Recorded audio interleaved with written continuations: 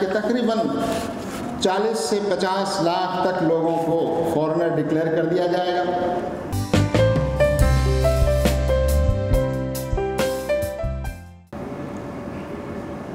جن لوگوں کا مزاج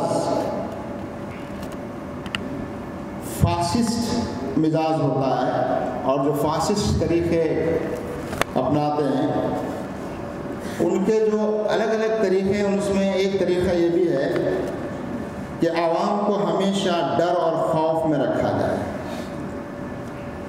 عوام کو ہمیشہ بھیبیت رکھا جائے۔ اور اس معاملے میں وہ پوری عوام کو ڈرانے اور خوف زدہ کرنے اور خوف زدہ رکھنے کی وہ کوشش کرتے ہیں۔ اور دوسرا طریقہ فاسسٹ طاقتوں کا یہ ہوتا ہے کہ وہ عوام کو آپس میں تقسیم کرتے ہیں اور بانٹتے ہیں۔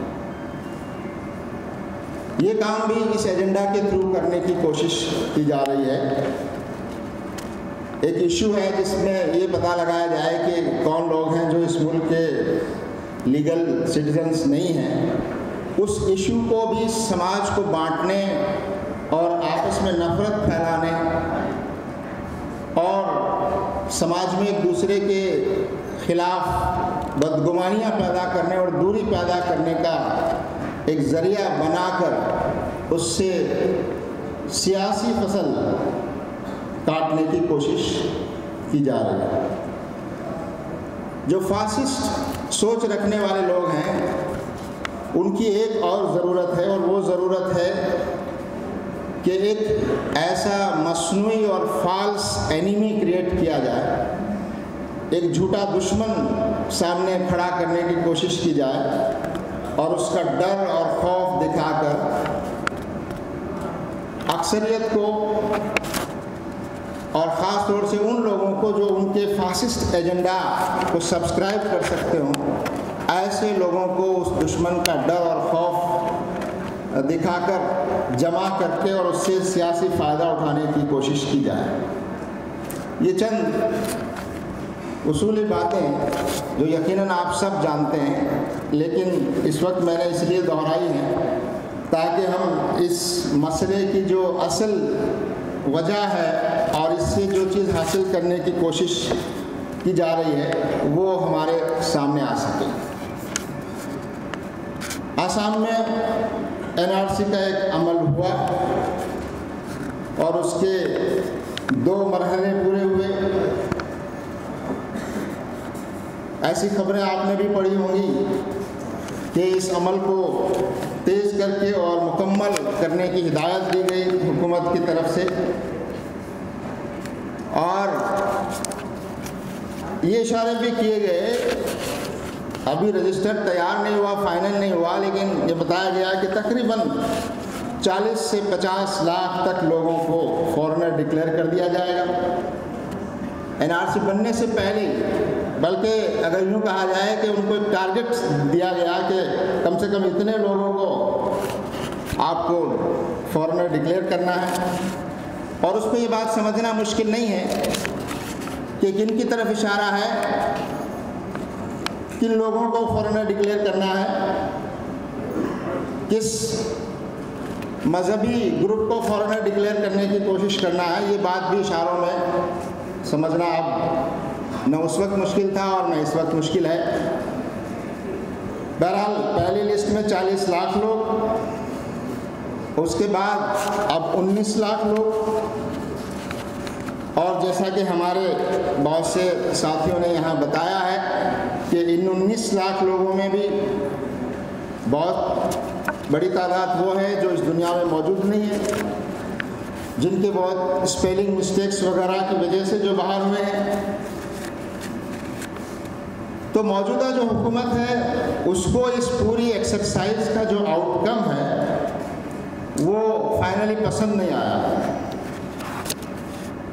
جو ایجنڈا تھا، وہ اس کو اس حد تک پورا کرنے میں، شاید اس کو ایکسپلائٹ کرنے میں کامیاب نہیں ہوئے۔ اور اسی لیے وہاں کی آسام کی جو یونٹ ہے، مرکزی، مرکز میں حکمراں پارٹی کی، اس نے اس کو ناپسند کیا۔ بلکہ اگر یوں کہا جائے کہ اس وقت جو ذمہ دار بنائے گئے وہاں کے پرتیک حاضیلا ایک طرح سے ان کو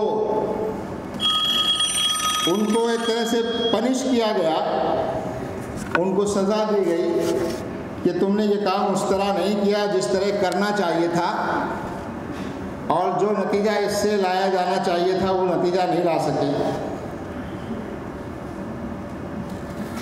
اب ہم دیکھ رہے ہیں کہ اس این آر سی کے اس عمل کو پورے ملک میں اس کو پھیلانے کی کوشش کی جا رہی ہے۔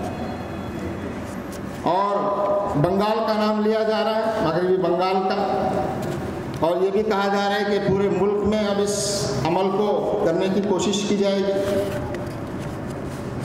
تو یہاں اب ہماری، ہم سب کی عوام کی یہ ذمہ داری ہے کہ ہم حکومت کو ایسے راستے پر جانے سے روکیں جو راستہ جمہوری قدروں کے بھی خلاف ہے، جو راستہ معاشرے اور سماج میں نفرت پھیلانے کا ذریعہ بن رہا ہے۔ اور آپ نے یہ ایکسرسائز کر کے بھی دیکھ لی اور اس پر کئی ہزار کروڑ کا خرچ بھی آیا اور پھر بھی وہ آپ کے ایجنڈا کے مطابق نہیں ہو سکی۔ اور اب اس کو پورے ملک میں دہرانے کی بات کہہ کر ایک قسم کا ڈر اور خوف پیدا کرنے کی کوشش کی جا رہی ہے۔ اور اسی کے ساتھ ساتھ یہ بات بھی کہی جا رہی ہے کہ اس ملک کے باقی لوگوں کو گھبرانے کی ضرورت نہیں ہے۔ اگر وہ فورن ڈکلیئر بھی کر دیے گئے تو ان کے لیے ہمارے پاس راستہ ہے۔ کہ ہم سٹیزنس امینڈمنٹ بل کے ذریعے سے ان تمام لوگوں کو جو اس ملک کے شہری نہیں ہیں، ان کو بھی ہم شہری بنا لیں گے۔ سوائے ایک طبقے یہ جو ایجنڈا ہے، یہ بہت خطرناک ہے۔ یہ دستور کی بنیادوں کے بھی خلاف ہے اور اس ملک کی جو جمہوری اسپرٹ ہے، اس کے بھی خلاف ہے۔ اور جیسا کہ ابھی ہمارے کئی ساتھیوں نے بتایا کہ ڈر اور خوف پھیلانے کے لیے ڈیٹینشن سینٹرز بنا کر اور اس کی تشہیر بھی کی جا رہی ہے۔ اور یہ بات ہمارے سامنے رہے کہ جو لوگ کسی وجہ سے جو لوگ فورن انڈین سٹیزن نہیں ہیں یا غلط طریقے سے اس ملک میں رہ رہے ہیں ان کو اگر باقاعدہ جو جیل ہیں اس میں اگر رکھا جائے گا، تو باقاعدہ جیل مینولس ہیں وہاں ان کے رائٹس وہاں ہیومن رائٹس ایجنسیز ان کو مانیٹر کر سکتی ہیں۔ لیکن ڈیٹینشن سینٹر چونکہ جیل نہیں ہے، اس کو جیل بھی نہیں کہا جا رہا ہے، لہٰذا وہ رائٹس اور وہ حقوق اور وہ بنیادی سہولتیں جو قیدیوں کو مل سکتی ہیں، ان سے بھی ان لوگوں کو محروم کیا جائے گا جو ڈیٹینشن سینٹرز میں رکھے جائیں۔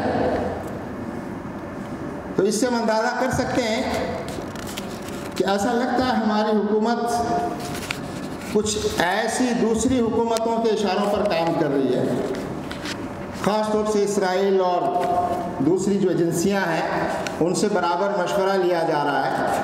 اور اب تو میڈیا کے ذریعے بات سامنے بھی آ گئی۔ کہ اب تو واٹس ایپ کے ذریعے جاسوسی بھی ہو رہی ہے۔ اور بڑی تعداد میں لوگوں کے فون ٹیپ ہو رہے ہیں اور اندازہ کیا گیا کہ تقریباً ایک ہزار لوگوں کی مسلسل جو ہے جاسوسی اس کے ذریعے کی جا رہی ہے، جس میں سپریم کورٹ کے ججز بھی شامل ہو سکتے ہیں، پارٹیز کے لوگ بھی ہوں گے، میڈیا کے لوگ بھی ہوں گے۔ سوشل ایکٹیوسٹ بھی ہوں گے اور وہ تمام لوگ جو ان کے ایجنڈا کے راستے میں رکاوٹ بن سکتے ہیں۔ تو یہ جو یہ جو خطرناک عمل ہے، جس طرف ہماری حکومت بڑھ رہی ہے اور سیاسی فائدہ اٹھانے کی کوشش ہو رہی ہے۔ ایک بات اور عرض کر کے میں اپنی بات ختم کرنا چاہتا ہوں اور وہ یہ یہ ساری ایکٹیویٹیز کو آپ اگر غور سے دیکھیں گے تو ان کی جو ٹائمنگس ہیں اس کا سنکرونائزیشن الیکشن کمپین سے ہوتا ہے۔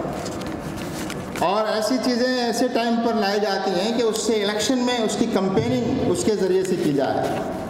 تو این آر سی جیسی چیز کو بھی الیکشن کمپین کا ذریعہ بنایا گیا۔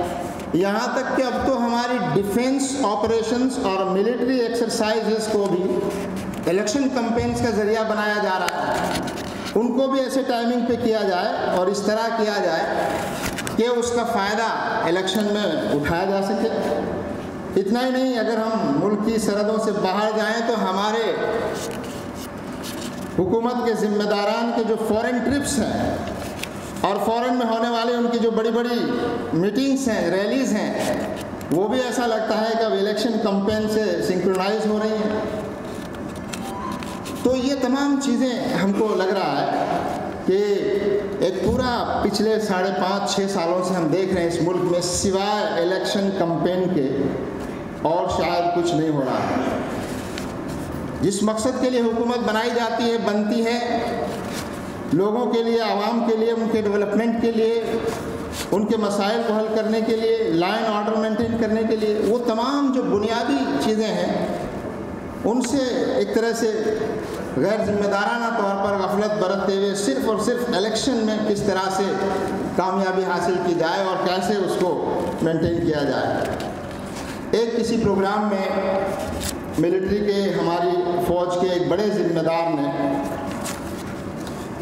دو جملے کہے جو ہمارے لیے بھی بہت سوچنے کے لیے ان کو دعوت دیتے ہیں کہ کس قدر سنگین حالات ہیں اور کتنے خطرناک راستے پر ہمارے ملک کو لے جانے کی کوشش ہو رہی ہے۔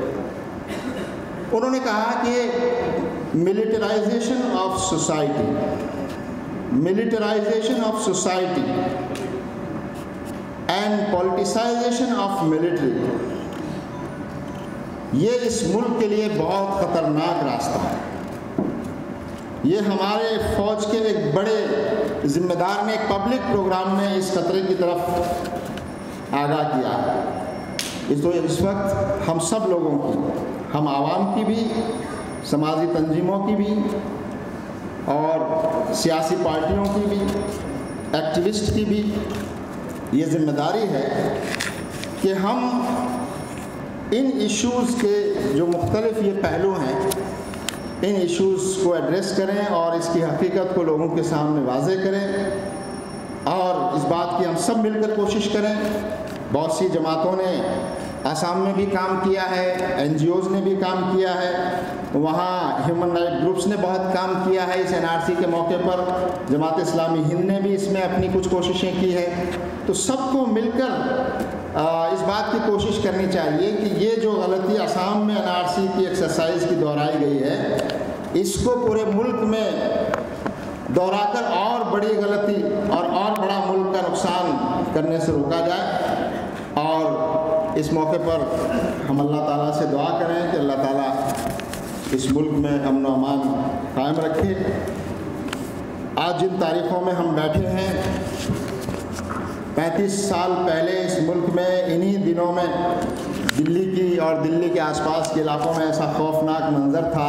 اکتیس اکتوبر کو اس وقت کی وزیر اعظم کا قتل ہوا اور اس کے بعد کئی دنوں تک دلی میں اور اس کے آس پاس ہمارے سکھ بھائیوں کے اوپر جس طرح سے ظلم ڈھایا گیا، ان کی جس طرح سے قتل عام کرنے کی کوشش کی گئی، اس کو ہمیں ضرور یاد رکھنا چاہیے اور کوشش کرنی چاہیے کہ ان کو انصاف بھی ملے اور ایسے واقعات اور اس راستے پر ہمارا ملک آگے نہ بڑھے۔